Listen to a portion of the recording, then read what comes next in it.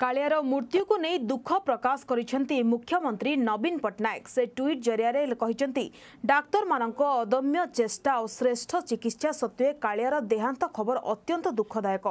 ଶୋକ ସନ୍ତପ୍ତ ପରିବାରବର୍ଗଙ୍କୁ ଭଗବାନ ଧୈର୍ଯ୍ୟ ଦିଅନ୍ତୁ।